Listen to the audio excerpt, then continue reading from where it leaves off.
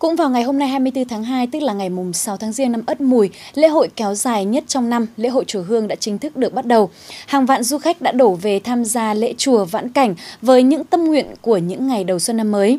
Do đông người lộn xộn trong những năm qua nên là người dân khi mà đến đây thì vẫn với nỗi lo thường trực, đó là bị trèo kéo ép giá và phải chứng kiến những hình ảnh phản cảm như là bán thịt thú rừng ở ngay nơi cửa Phật. Ghi nhận của nhóm phóng viên VTC14 ngay trong ngày khai hội.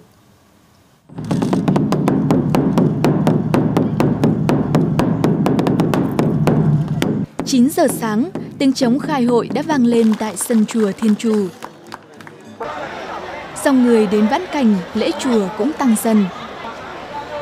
Tuy nhiên năm nay, ngày khai hội là ngày đầu tiên cán bộ công nhân viên chức, người lao động trở lại làm việc sau kỳ nghỉ Tết Nguyên đán, nên lượng khách đến chảy hội không quá đông đúc như hàng năm. Tình trạng chen lấn xô đầy vì thế cũng không còn diễn ra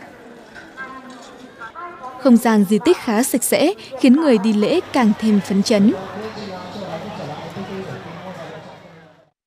Năm nay đi thì thấy cũng ờ, ấm áp, vui vẻ, sạch sẽ, gọn ghẽ hơn mọi năm. Tình trạng đổi tiền lẻ để ăn tranh lệch trong các khu di tích cũng như việc treo thịt thú rừng tại các điểm bán hàng đã không còn tái diễn. Điều này có thể coi là một điểm sáng trong ngày khai hội. Nói chung là ừ, năm nay thì thì cái tổ chức ừ, nó gọn gàng hơn mà nó gần như là khép kín.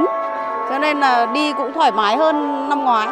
Huyện cũng đã tổ chức các cái đoàn kiểm tra và xử lý liên ngành. Thì cái này để chúng ta duy trì tốt thì có lẽ là ban tổ chức sẽ phải thường trực, thường xuyên chỉ đạo và đôn đốc để bà con thực hiện.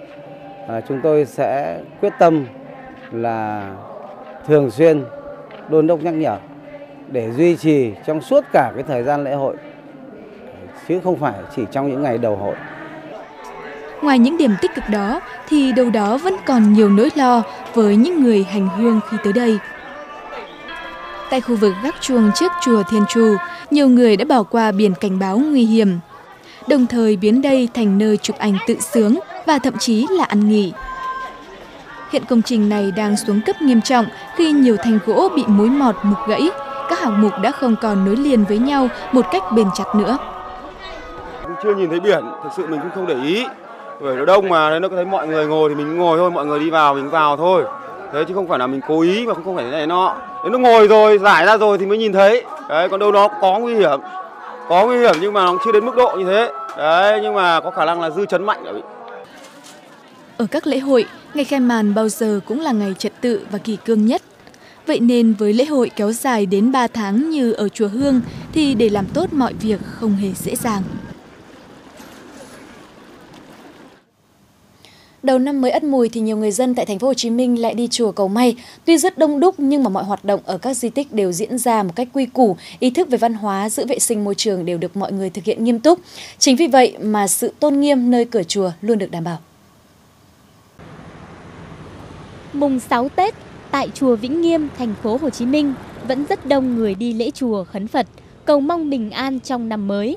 Không có cảnh khói nhang mù trời, rác thải bừa bãi hay tiền được giải khắp nơi, quang cảnh viếng chùa trong những ngày đầu xuân tại đây thật sự mang lại cho khách thập phương cảm giác thanh bình. Ở đây người ta rất là trật tự, người ta yêu cầu mình à vô cô thắp ba cây nhang thôi, cô mang ba cây nhang vào cô thắp thôi. Chứ đừng có mang nhiều quá sẽ sẽ khói bụi. Thì ờ, trước đây á, thì người ta ào ạt thắp nhang nhiều lắm nhưng mà sau này thì vào những cái nếp giống như là nó sẽ trật tự hơn. Trái cây hay nhang đèn cũng vậy cần có lòng chứ không phải là mình ào ạt mình cúng cho nhiều thì nó cũng không có tốt. Chỉ đốt ba cây nhang hay hòm công đức là những thông tin được ghi trên bảng hiệu đặt ở những vị trí dễ nhận biết nhất. Bên cạnh đó, những ngôi chùa tại đây đều có một lực lượng lớn những người làm công quả, sẵn sàng hướng dẫn du khách khi chưa thực hiện đúng quy định hay đơn giản chỉ là luân phiên thu dọn nhang đèn khi cần thiết. Khách viếng chùa vì thế cũng thực hiện khá tốt. Ai có chút lễ mọn góp phần giúp nhà chùa bảo quản trốn linh thiêng thì cũng đều đặt vào đúng hòm công đức. Để có được thói quen nền nếp ấy, dù là đang trong những dịp đầu xuân lễ Tết hội hè, là nhờ vào sự điều phối tổ chức có kỷ luật từ ban quản lý mỗi đình chùa.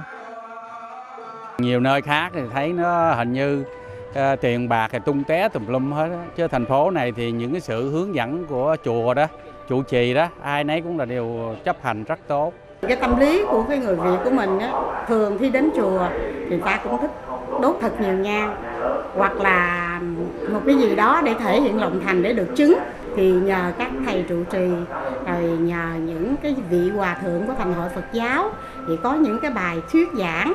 Cho nên thì cũng có những ờ, phần Phật tử mà gọi là chân chính họ có thể họ ý thức được. Cho nên thì cái cái, cái thực hiện được những cái nội quy hay những cái gì mà chùa mong muốn nó được tốt đẹp. Không chen lấn xô đẩy không đốt vàng mã hay để tiền công đức vương vãi cửa chùa luôn là chốn bình yên thanh tịnh và đầu năm mới, người dân đi viếng chùa để cầu an cho bản thân và gia đình cũng là một nét đẹp trong văn hóa Việt từ bao đời nay. Nhưng để nét đẹp trong văn hóa tâm linh đó được duy trì và thực sự có ý nghĩa thì mọi người đều cần có ý thức giữ gìn.